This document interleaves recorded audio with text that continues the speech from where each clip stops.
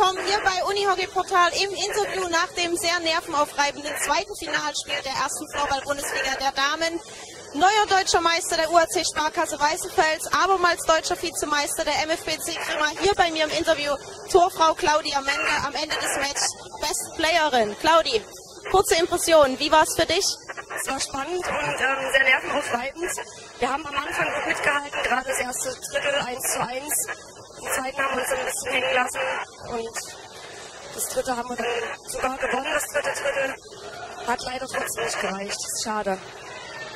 Äh, es hat am Ende nicht gereicht. Wo denkst du, waren euch die Cats wieder ein Stückchen voraus? Letzte Woche sind sie ja dann auch wieder äh, voranmarschiert und haben den Sack zugemacht, das 1 zu 0 in der Best of Two Serie eingefahren. Woran lag es diese Woche? Sie haben halt einfach wieder das Tor getroffen. Ich habe oft nichts sehen können leider. Und ja, daran lag es. Sie haben das Tor geschossen. Wir haben öfters nicht getroffen leider. Ja, Chancen wurden eine Vielzahl liegen gelassen, sowohl bei den Cats als auch äh, bei euch. Äh, Ralf Kühne und Markus Linke haben kunterbunt bei euch durchgewechselt. Vorne im Sturm, hinten dann die Defensive.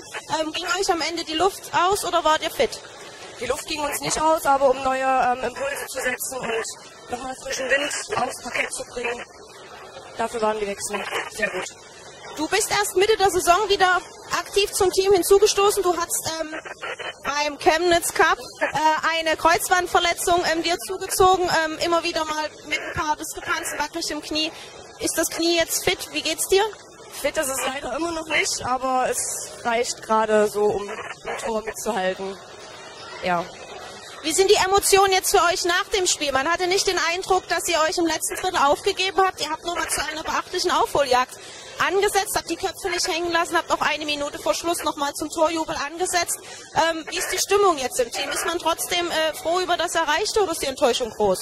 Wir sind schon traurig, wir wollten gerne ein drittes Spiel erzwingen, wir wollten morgen nicht frei haben, aber wir haben unser Bestes gegeben und im Vergleich zum letzten Spiel vorige Woche war es schon eine Steigerung. Wir sind natürlich traurig, dass es noch nicht geklappt hat. Ja. Wieder Verteidigung des Vizemeistertitels. Claudi, wie geht es jetzt für euch die kommende Woche oder die nächsten Tage weiter? Wir werden weiter regelmäßig trainieren, einmal die Woche, damit wir in Übung bleiben und ja, mal schauen, was dann mit einer Trainingspause ist, aber erstmal weitermachen. Das heißt, Ralf Kühne, Markus Linke gönnen euch nicht so schnell die, die Saisonpause. Saisonpause wollen wir auch gar nicht so, also ähm, einmal die Woche Training, das ist schon in Ordnung. Ein bisschen Pause haben wir ja da auch. Okay, Claudi, vielen Dank. Ich gratuliere euch trotzdem zu erreichen Sil Silbertitel. Ich wünsche dir noch alles Gute für das Knie, dass es hält. Und bis bald. Okay, tschüss.